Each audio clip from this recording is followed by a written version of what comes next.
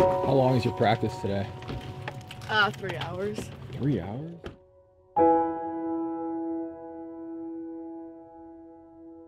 Um, state tomorrow. This is our last practice.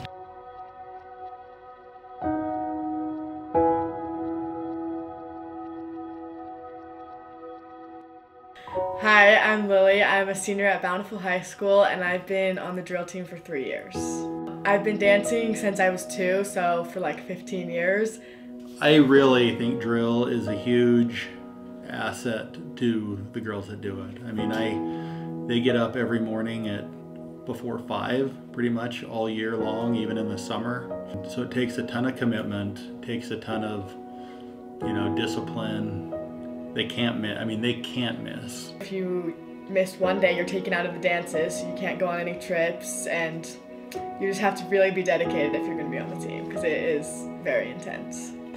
I think something that keeps me going is just like the satisfaction of competing and performing. It's so fun too to have like 31 girls that are just your best friends that you're with every day. So I think it's super important that we're all super good friends and trust each other because if we don't trust each other and if we aren't best friends, we won't perform as well um, at competition. Bountiful High has won 21 state titles with drill, and so this year we've been pushing super hard to try and gain that state title back and continue with Bountiful's history of winning.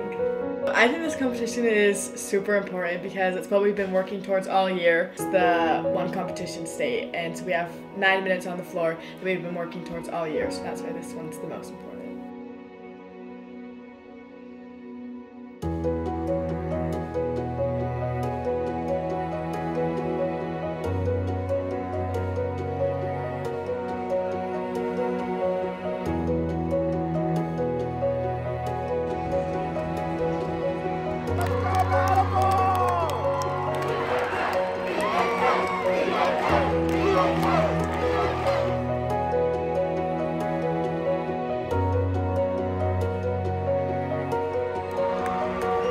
In third place is Bountiful.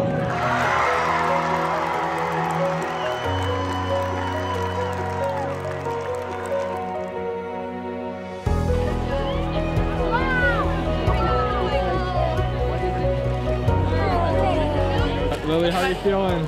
Um, bittersweet, sad to be done, but also good to be free. Drill has just taught Lily to take life into her hands.